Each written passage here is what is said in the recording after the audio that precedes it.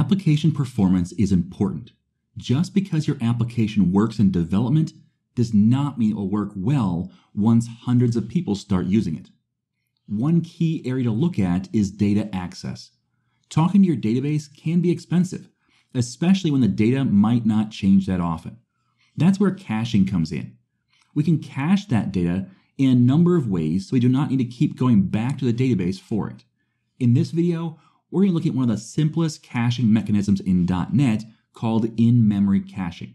We will create an application without caching, observe the performance, and then see how, to, how caching can improve our performance. We'll also discuss the best practices when using in-memory caching. Now, if this is the first video you watched of mine, my name is Tim Corey, and it's my goal to make learning C Sharp easier. I provide videos here twice a week on YouTube to help you grow as a developer. I also have a full set of training courses on I Am Tim Corey and a podcast titled Dev Questions. I encourage you to check out all the resources that I have to offer. Now, this video, as with most of my videos, is going to create some source code. If you'd like a copy of the source code, use the link in the description. So let's go over to Visual Studio and we're going to create a new project.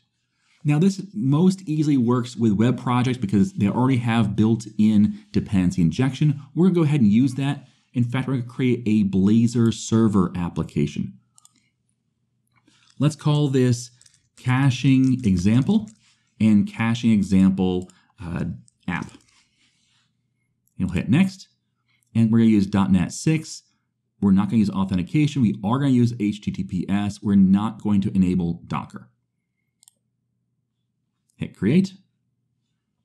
And this is just our standard application. We're going to start ripping as right away. But first, let's create a new class library. So right click on the solution and say add new project. We're to create a class library. Hit next. And we'll call this our data access library and .NET 6. I'm to create a class library here. Let's delete class 1. To create a class library because of the fact that I do want to show off how it worked differently, a little differently, inside a class library as opposed to just inside Blazor itself. So we're going to create a new class and this is very much a demo app, so we're not going to go through all the, the normal procedures of folders and all the rest. We'll just create everything right in the root. It's fine. This is demo. So let's create employee class, employee model, and we'll make it public. We're going to say prop string first name, prop string last name. So all that's doing is creating a first and last name, really simple model for us to work with. And the idea here is this is going to hold an employee's information. Again, there's a lot more to employee than just a first and last name, but that's all we need to worry about with this demo. Next up, let's create a class. So say add class, and we'll call this our sample data access. This is going to, let's make it public, this is going to simulate the idea of us talking to a database. We're not going to talk to a database because that's not the point of this video. So let's create a public list of employee model. And nope, IntelliCode got ahead of us there. And we're going to say get employees. So we're going to create a list of employee model and we're going to call this output. And we'll say equals new. That creates a new instance of it. And finally, we'll return output. Now, in between here, let's actually put some sample data in place. So output.add new. IntelliCode wants me to put the new employee model, but with the, the new syntax, I can just say new like this, make it shorter. And it's already long enough, so I'm gonna make it shorter like this. That way, it's just, it doesn't go off the edge of my screen. I'll create a couple more of these. And Sue and Jane. And Storm. And let's go with Jones. Okay. So now we have as get employees, it returns three employees. But we want to simulate the idea that it's expensive. Now, in a real data access scenario, maybe you're accessing a thousand records or 10,000 records, something larger, where, or maybe it's across the network, talking an API, whatever it's going to be, you'll probably have some sort of delay. Now, for us, what I'm going to do is I'm going to simulate a delay of three seconds just to show off the fact that it's it's operating slowly.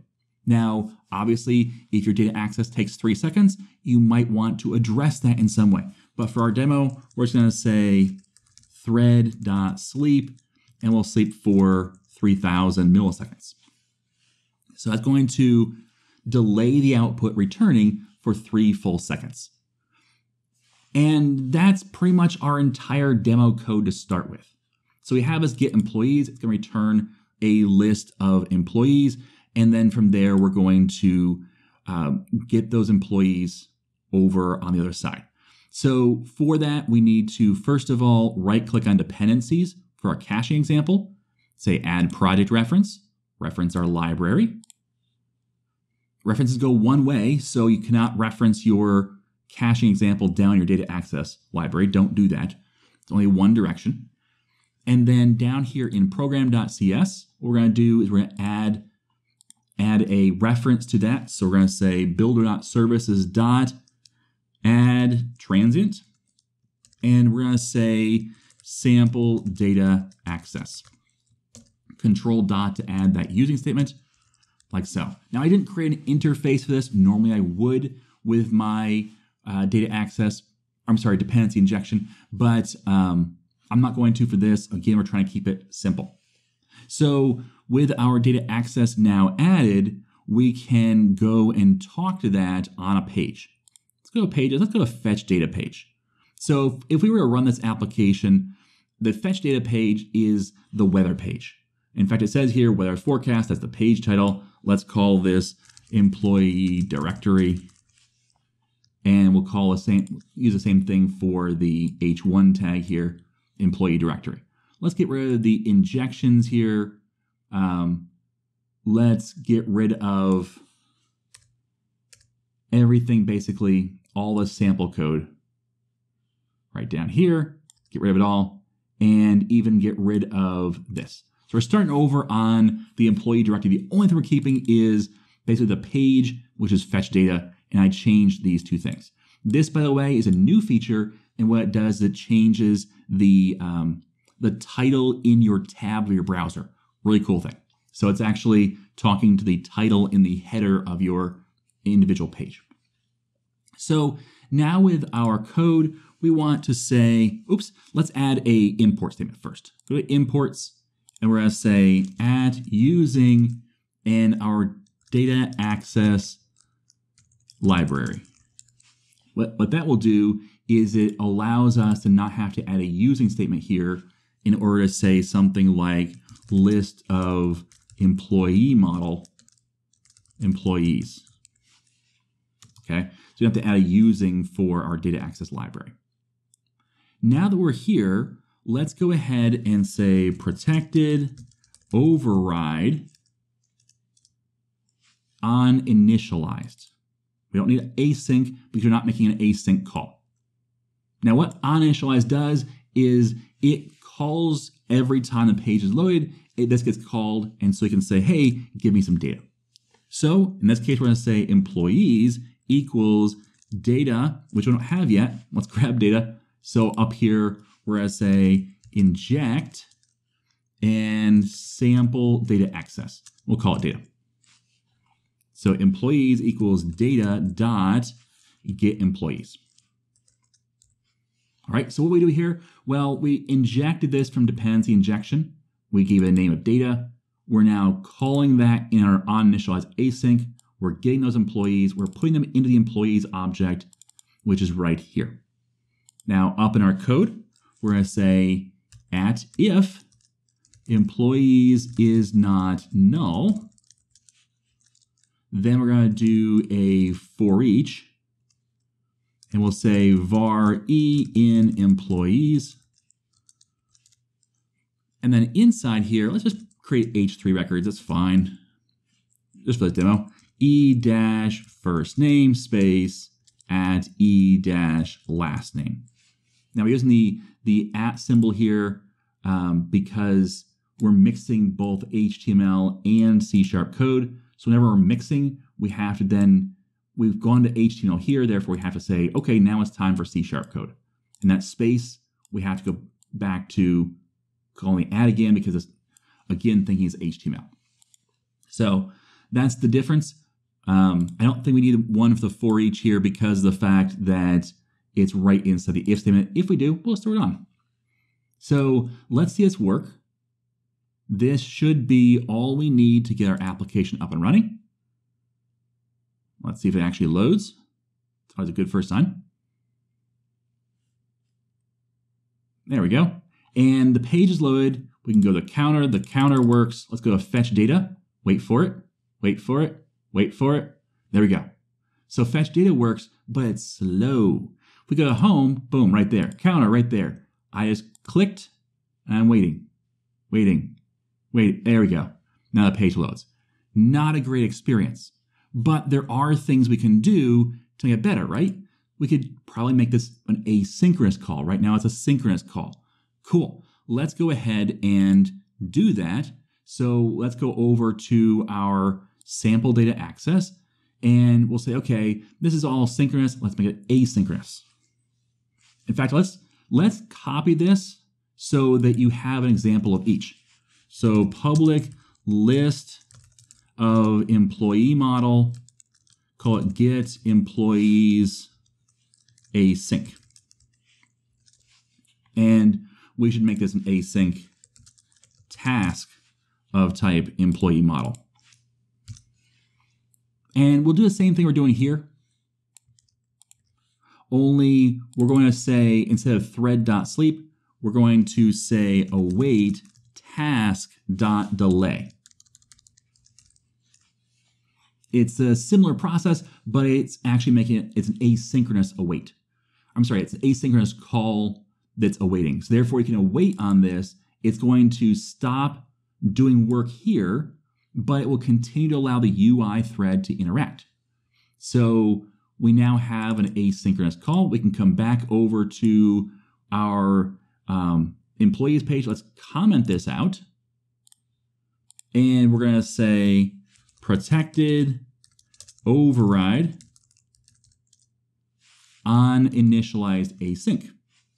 We can get rid of the starter code here and we can say async task and we'll say employees equals await data dot get employees async. So now we made it asynchronous. Cool. That shouldn't lock up the UI. So let's run this again. And we'll see if this makes a difference in how our page loads. So counter, fetch data. Oh, the page loaded. It says employee directory, but then it waited to show, have this show up. Okay, so we can make a slight improvement here where we have if employees is not null, we can say else and have an H2 that says loading. Actually, it should be um, probably in H3 because we're both of these are H3s. So let's run this again. And now once we go to that page, it should say, hey, you're loading. You're not done there. There you go. We're loading, loading, loading. There we go. Now there's our records. So it's still taking just as long to get the data, but at least it's showing us a loading bar. But that's an expensive call. And imagine if we wanted to show the employee directory quite often. You don't want people to wait around for the employees if you can help it. And hopefully, your employee directory isn't changing every minute.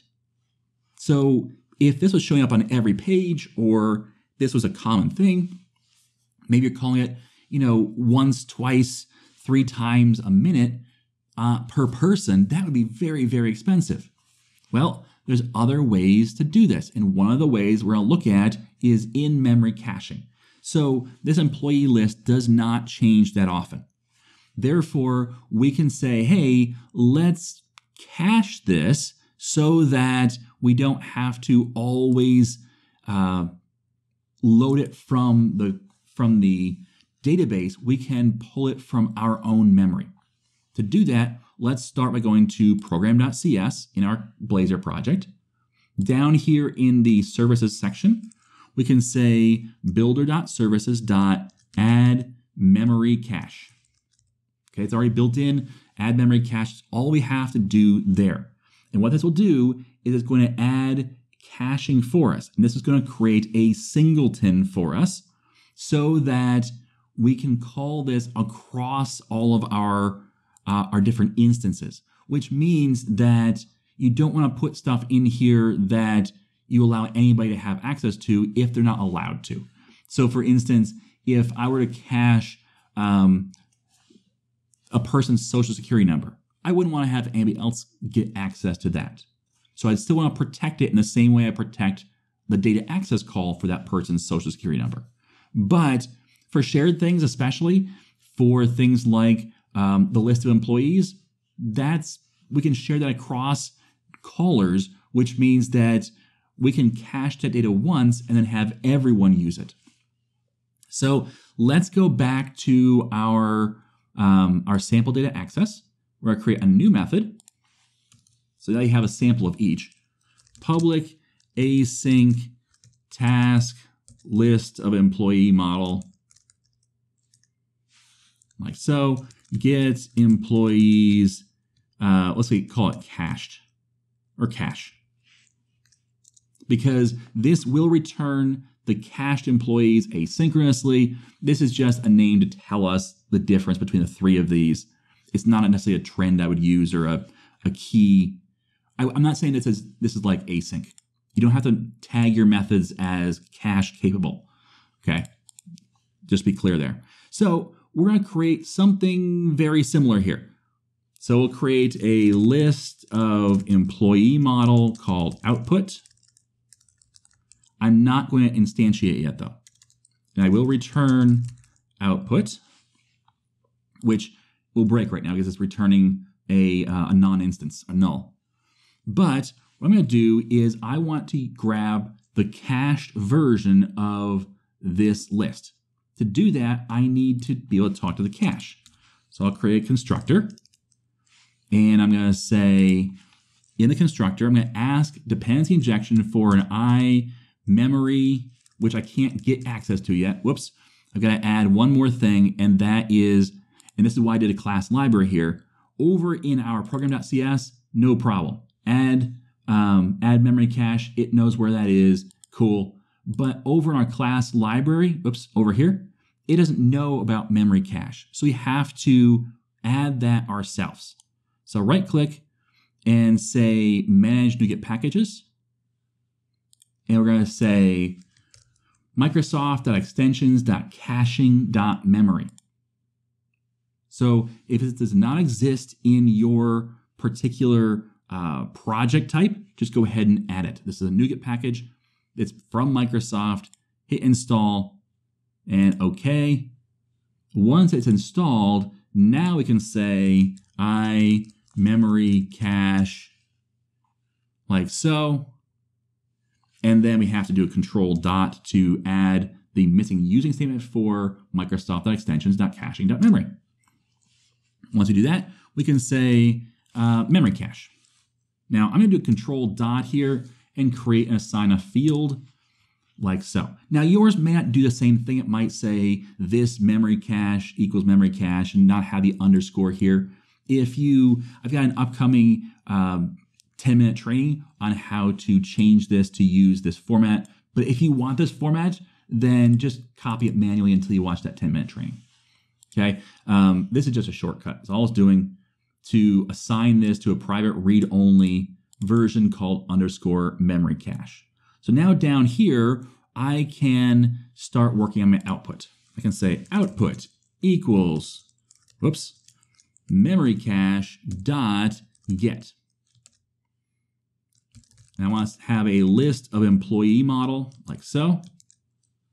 And I want to pass in a key. Now, the key is something that this is a key value pair. So therefore you have to remember the name of the key.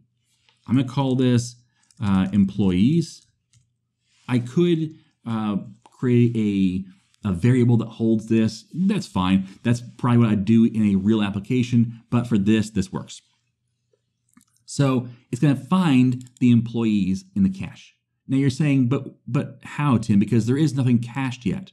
You're right. There is nothing cached, which means we're going to have an if. We're going to say output is null. So if output's null, then we don't have any data from the cache. Therefore, what we're going to do is I'm going to grab from here. Notice I'm grabbing the output equals new. I'm going to grab all the way down to here, including the task.delay. Okay, so now I have instantiated the output. I have added the three items and I have delayed just like the above async. That way we're not comparing apples to oranges. This is an apples to apples comparison if we create the new entry. But there's one last important step here if you do not find it in the cache. And that is if you want to find it in the cache ever, you're going to want to say memory cache dot set employees output. Now it could be done here, but I do not want to be. This is important. At the very end, you need to give it a time span. I'm going to say from minutes one. What this does, let me unpin this so you can see the whole thing. What this does is it says, okay, I want you to take that output I just created, which took those three seconds. I want you to put that into the cache named employees. But I only want this cache to live for one minute. This is important because in memory caching is something you have to be careful about. This is one of those, um, Tim's going to make sure that you're clear on this sections. So, memory caching is not limited. Now, where is it storing it? The clue is in the name memory. So, if you put too much data in your memory cache, you will run out of memory that would be a problem. Now, memory caching does not have a idea of limiting based upon the number of kilobytes in your memory or things like that. You can limit the number of things in your memory, but it's more about limiting the number of objects or saying this many whatevers in my memory, and you get to choose those numbers. It's not a a um, a size as far as kilobytes, megabytes, and so on. So it's a little more delicate and you do have to be careful. The the caching can be used to a higher degree. For example, you can say what the priority of this cache is compared to other things. That way, if the system starts running out of memory, it will take away the older things and the lower priority things and the things that are expired before it takes away your high priority thing. But I don't find that terribly useful because I don't intend to ever use memory caching that heavily. Instead, I want to use memory caching for things that I know aren't going to be too strenuous in the memory and that will actually make my memory lighter because I'm not continually calling for those new records and creating new instances of the data. For instance, let's just pretend that this output list here is 100 objects long. Well, if I'm call if every person calls this every time I load the application, that's creating a hundred new objects every time any person creates these objects. Instead, I'm taking the hundred objects, storing them once in memory, and then having everybody talk to them, everybody see them. Therefore, it's more efficient as opposed to what I was doing. So you can definitely take advantage of it that way. But don't just say, hey, I might need these, you know, million records. I'm going to throw some cache just in case I need 10 of those. Well, that's going to affect your memory negatively. So don't do that. But the other thing is that you don't want to have things in your mem- your cache indefinitely because the fact they may get old. For instance, yes, employees do leave. New employees do come. How how often do you want how old do you want this data to be? So for an employee list, you know what? Really, it could last a full day. not a problem. Because that list isn't changing. So, yeah, not a problem to last a full day. For our case, we're just going to say a minute. And and a lot of times you want a cache that lasts a short period of time like that. Maybe, you know, if the person's bouncing back and forth, they're going to see this list a hundred times, but it's going to be a hundred times in 10 minutes. Well, then maybe you cache it for the 10 minute period and they only ever load the list once. So be careful how much data you put in the cache and be careful how long you let it sit there. What this will do is after a minute's time, it's going to tell a system, yeah, you can get rid of me. Which is another important point here is you have to you have to count on the data not being there. You have to prepare for it not to be there. This is why I don't just say, hey, get the cached values and return. I say, hey, get the cached values, but if it's null, let's go ahead and go to the database, get the real values, and then cache those values for the next call. All right, so I'm trying to be very clear here. Use caching appropriately, do not abuse it. Otherwise, you're abusing your own server and making your life worse, not better. There's a balancing act to hit here. There is not one clear cut, well, this is better than the other in caching, just like most other things in development. It does depend on your circumstances. Just being clear though, you need to be careful. Okay, so with this caching in place, now we're going to talk to the cache. The first time it'll be empty. Therefore, we'll do the same thing essentially as what we're doing up here. But the last step is here is we're going to save that to cache. Next time, we're going to find it in cache. It's not going to be null, therefore we're going to just go ahead and return. Let's see this in action by going back to our, um, oops, our fetch data page. And instead of get employees async, we're going to get employees cache. It's still asynchronous, but this is going to talk to the cache. Let's run this application, make sure it runs, we haven't missed something. Wait for it. There we go. So counter still works, home still works. Let's go fetch data. It's loading. And it's done. Okay, let's go to counter, back to fetch data. It's already done. Okay, you see the difference there? I can go back and forth all I want, and that page is done. I have to wait for it again. Now, if I wait a full minute, then it's going to go back to the cache again and say, oh, you know what? You're you're no longer there, therefore I have to go back to the quote unquote database and get the data. Let's just see if we can't wait for that to happen. Once it does click over, I haven't, I haven't been tracking how long it is, but once it does click over, it's going to go back to that idea of loading before it, you know, shows us our data.